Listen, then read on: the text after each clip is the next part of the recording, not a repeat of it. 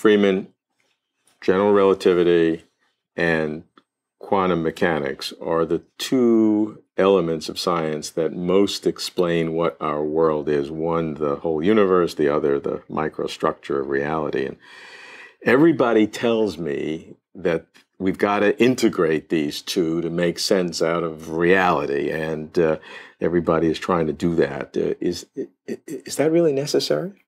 I don't think so, but of course I'm in the minority there as usual. but no, I, I, I think I, I, I, that the, the world does have two different aspects. I mean, this is the world of physics, which maybe should not be unified. And, and uh, in some way, I like a universe to be more diverse, more, more subtle, rather than pulling it all together. And, and so, anyway, here's what I think that the, the, the, the classical world is what we know about the past. Every, all our knowledge of the past essentially is classical. That's to say, we, we know facts. We know what happened when. We know that the Earth condensed out of a cloud of dust, and we know that the continents had been shifting around, and we know that a particular atom of uranium did, in fact, decay at nine o'clock yesterday. And, and so those are facts. On the other hand, we have quantum mechanics which talks about the future, which enables us to calculate probabilities. That you want to know when this uranium atom is going to decay, there's no way you can tell. You can calculate the probability. There is one part in one chance in a million that it will have decayed by the end of next week or something like that. so that's what quantum mechanics can do, and that's all it can do. It's it's about the future. It's about probabilities. So why should you try to unify those two? It is, I don't think you have to. And in fact, the, the, the great physicist Niels Bohr, who was more or less the, sort of the founding father of quantum mechanics, believed in keeping them separate. And, and so I'm actually just following him. He always believed that there is a classical world, and your measuring apparatus is always classical.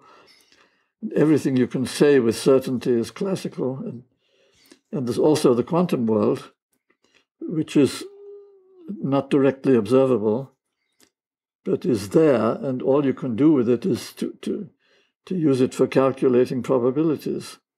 So I don't find anything wrong with that. And of course, it has a consequence which, when you come to, to look at general relativity, mm. because general relativity is a classical theory. It tells how the universe behaves on the large scale. It's a theory of gravita- gravitation and space and time. It's a geometrical theory. And it has been enormously successful. It is, it is it's sort of the most beautiful, in a way, the most beautiful theory we have in the sense of being precise and, and, and, and subtle and still simple in, in its foundations. And in some way, it would spoil it if you bring them together. I, I, I don't see why one, one should. So I would say let's leave uh, uh, gravitation theory, the theory of Einstein, as part of the classical world. Don't try to drag it into quantum mechanics. The argument, though, takes us back to the very beginning, and it, it, it says that in order to go to the first uh, instant of the Big Bang, that that the two fight and, and, and mathematically we have uh, absurdities that occur. And so something must happen if we want to push our understanding eh, to that ultimate point. Well, that we don't know. I mean, you know, that, that that's a statement, but it's not really an argument. we know nothing about the, the, the, Big Bang in detail. I mean, it, it certainly happened but uh, to, uh, we are, we are uh, I think it's amazing how far we are able to explore into the past, but we certainly haven't yet got there. Well, we have these four fundamental forces, and uh, first uh, electricity and magnetism were united, and then they united the weak force with that. Uh, and then the strong force has been, and, and, the, and the one holdout is gravity. Right. You know, should why should that remain a holdout in terms of being able to be unified at some energy level or something? Well, it could be something like temperature. I mean, temperature is is uh, a classical quantity. You can you can measure temperature and you can uh, uh, and you can talk about temperature, but you can't quantize it. There's no way. Uh-huh. There's no you, you can't talk about temperature as a quantum object or there's no such a thing. tampon. There's no such thing as a tampon. Yes, it is. It is. A, it's. A, it's really a statistical property of, of uh-huh. matter in bulk, uh. and the same thing could be true of gravitation. Well, that's very interesting because that would mean that this so-called graviton, which is like the photon for electromagnetism, the the quantum uh, quanta of of, uh, of gravity is uh, is a fiction. Yes. I mean, I would say it is a fiction in the sense that you you you can study it mathematically, but you can never study it in the real world. Mm. You can never. I can't think of a, a, any thought experiment which could tell whether graviton is there or not. I mean, we can observe crowds and crowds of gravitons coherently because then they become a classical field. but there could be a classical field without having gravitons. So your worldview is completely comfortable if gravity is never integrated into quantum theory. Right. That to me seems, um, um, um, it's certainly quite plausible. I don't say it's true, but there's no evidence against it as far as I can see.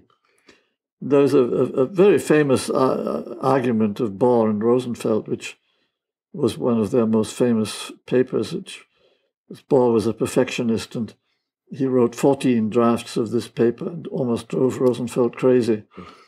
And it finally was published as a big, big fat paper about the measurability of electric and magnetic fields. And he, by analyzing very, very carefully the quantum measurements of the electric and magnetic fields, he proved that in fact the photon exists, in, in, mm. that the photon really has the properties that you postulate for it that you can't have an electric and magnetic field without having photons. But if you look very carefully at his apparatus in that paper, you find there's a thing he calls compensation, which is very essential. That the measuring apparatus consists of a charge or a current, an electric charge or an electric current. And when you use that to measure the field, the measuring apparatus itself produces additional fields which will mess up the measurement. Unless you compensate them. So you have to have another set of charges and currents which you don't measure, but you use them to compensate for the ones that do measure. So that compensation is an essential part of this whole argument. Well, try to do that with gravitation. You, when you try to measure a gravitational field, you have to have a mass to measure it with. The mass, by looking at the mass, you can tell what the gravitational field was. But there's no way you can compensate a mass with a negative mass. so, so there is a real difference there. So this argument of Bohr and Rosenfeld, which supports the quantization of the photon, fails when you come to gravity. Mm. There's also the, the real issue that gravity is so much weaker than electromagnetism, like what, 10 to the 39th or some enormous differential, which really puts them into certainly different measurement categories. Yes, if you look at the LIGO apparatus, which is now measuring classical gravitational fields, you you figure out what is the the, the, the, the threshold of that piece of apparatus, the, the weakest gravitational wave that it could, could hmm. actually mm. measure. The answer is that's 10 to the power 37 gravitons. so you have to improve it by 37 orders of magnitude to see a single graviton. And, and I have uh, calculated that that in, even in principle can't be done. And that if you did, actually, if you build such an apparatus to measure a single graviton, it would in fact collapse into a black hole. And so nature would say, no, you can't do it. So it's, but in your view, it's not only that it, it, it, it, it can't be seen, but that you have no discomfort that they they remain permanently and in some final physics different. Yes, absolutely. I mean, I, I think that it would be a much more interesting universe, in fact, if, if it has these two quite disconnected parts. And, and, and uh, of course, there's much more which we still don't understand. So this, all these questions may turn out to be irrelevant in the end.